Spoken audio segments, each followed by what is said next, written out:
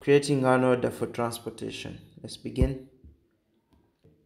We click on these sacks right here and then we select none so it doesn't show any items on the right side. And then we come and select the item. Oh we've selected the wrong item.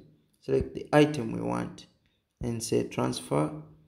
And then you choose where you want it transferred. We are now at plot minus 01 minus 01 but we want it at 0202 so we click on that and then we fill in the details there the amount the price um, and then we create.